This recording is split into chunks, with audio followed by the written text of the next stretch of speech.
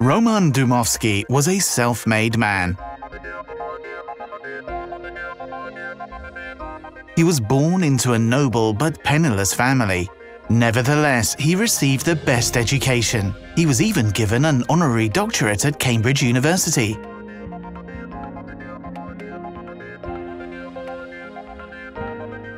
Dmowski was an extremely busy man. He hardly ever rested, so such a picture is a rarity. He founded a mass national democracy movement and was particularly admired by the youth.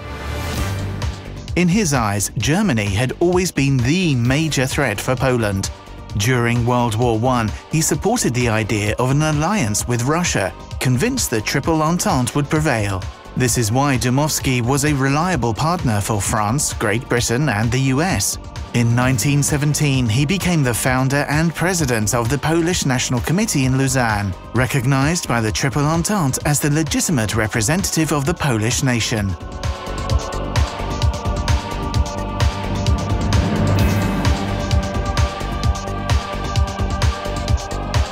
In the same year, he inspired the creation of the Polish Army in France. It was equipped with 98 planes and 120 tanks, which later on proved a great legacy for the army of the independent Polish state.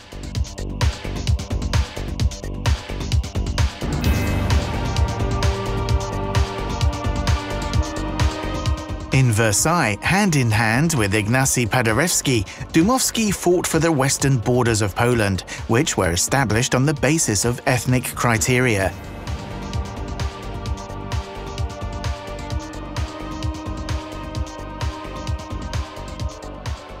For five hours and in three languages, Dmowski presented to the politicians from the winning powers sound historical arguments supporting the Polish cause.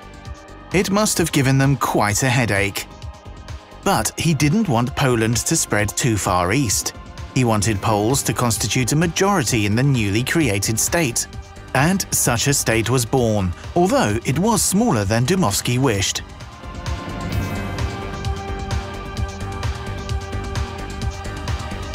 Dmowski himself was not successful as a politician in Free Poland, but the country that emerged was as if designed by him.